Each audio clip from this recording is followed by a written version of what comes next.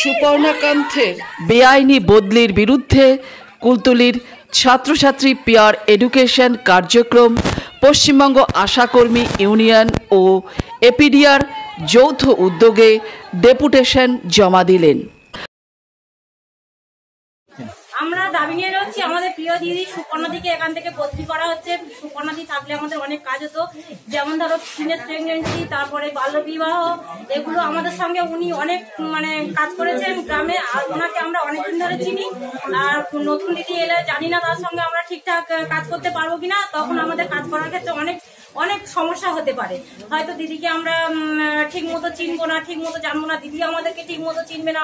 সেজন্য তো home delivery বলো আর টিনের প্রেগনেন্সি বলো বাল্য বিবাহ বলো এগুলো প্রচুর গ্রাম গ্রাম্য এলাকাতে এগুলো বেড়ে যাবে।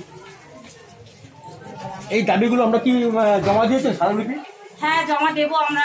কুলতুলি ব্লকের একশো ষাট জন আশাকর্মী আজ তাদের তেরো দফা দাবি নিয়ে রাস্তায় নেমে আন্দোলন করলেন।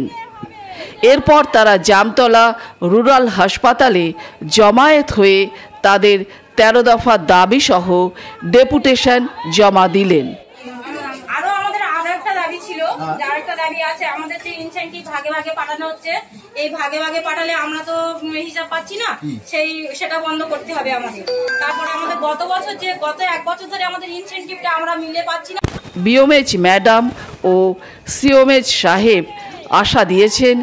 বিষয়টি তারা গুরুত্ব সহকারে দেখবেন।